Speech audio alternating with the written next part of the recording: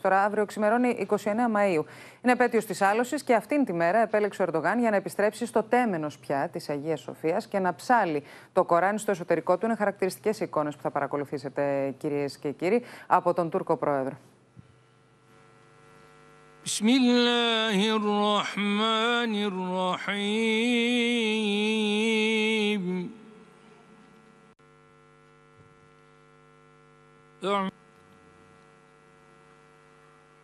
Λοιπόν, έναν χρόνο μετά τη μετατροπή του μνημείου σε τζαμί, ο Ερντογάν επιστρέφει για να ψάλει.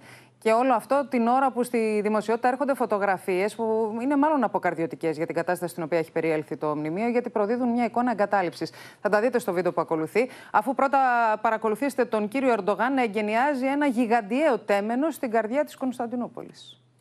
Şehitlerimizin emaneti olan bayrağımızı indirmeye kimsenin gücü yetmeyecektir.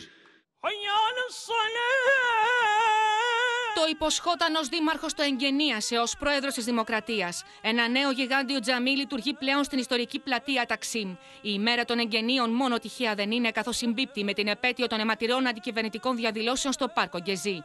Ο Ισλαμικός χαρακτήρας του κράτους έχει πια επικρατήσει του κοσμικού χαρακτήρα που επέβαλε ο Ατατούρκ. Taksim Camii önünden yankılanan sesin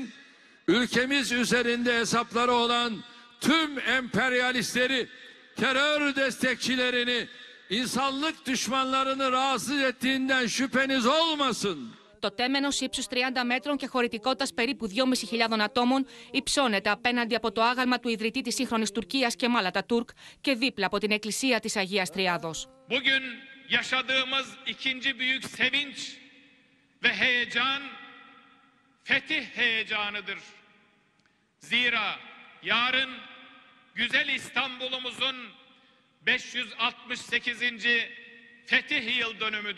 Ο Ερντογάν θεμελίωσε το νέο τζαμί εκεί όπου επί δεκαετίες οι κεμαλιστές, στο όνομα της ανεξιθρησκείας, δεν επέτρεψαν να υπάρχει Ισλαμικό τέμενο στην ευρωπαϊκή πλευρά της πόλης. Ο Τζαμί είναι ο πρώτο που θα δείξει το Ισλαμικό τέμενο στην